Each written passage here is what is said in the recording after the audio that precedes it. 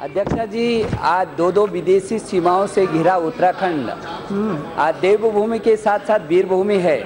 यहाँ औसतन एक परिवार से एक व्यक्ति सेना में भर्ती होकर जहाँ राष्ट्र की सीमाओं पर अपनी कुर्बानी को देता है। वहाँ दूसरी पंक्ति में उसकी माँ बहनें भी सैनिक की तरह देशभक्ति का अन्य राष्ट्रभक्ति का प्रमाण देती हैं। चाहे देश की आज़ादी से पहले हो चाहे देश की आज़ादी के बाद। वहाँ चाहे चंद्रशेखर आज़ाद हो चाहे सुभाष चंद्र बोस उनके कैंप हमेशा लगा करते थे और हर परिवार से एक व्यक्ति सेना में भर्ती होकर राष्ट्रीय सीमाओं पर अपनी कुर्बानी देता है। अध्यक्षा जी पेशावर कांड का माना है वीर चंद्र सिंह गढ़वाली हो और चाहे उन्नीस सौ और उन्नीस सौ इकहत्तर का युद्ध हो चाहे कारगिल का युद्ध हो और चाहे वो मुंबई के ताज होटल पर आतंकवादियों का निशाना हो चाहे गुजरात के अक्षरधाम का विषय हो चाहे दंतवाड़ा का हो और चाहे संसद पर आतंकी हमले का विषय हो पहली पंक्ति में खड़े होकर के उत्तराखंड के सपूत ने अपनी कुर्बानी दे करके अपनी श्रेष्ठता दर्ज की है।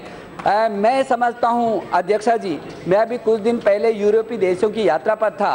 नायक दरबान सिंह नेगी और राइफलमैन गबर सिंह नेगी को फ्रांस में अद्भुत वीरता के लिए विक्टोरिया क्रॉस से सम्मानित किया गया। इतने नहीं तो मेजर सोमनाथ शर्मा और मेजर शैतान सिंह को परमवीर चक्र से सुशोजित किया गया।